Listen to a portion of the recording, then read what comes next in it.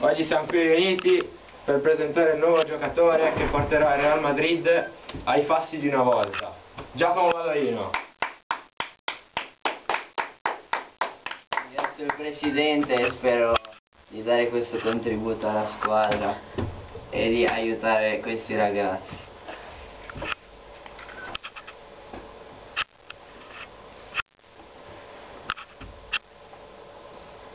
Complimenti.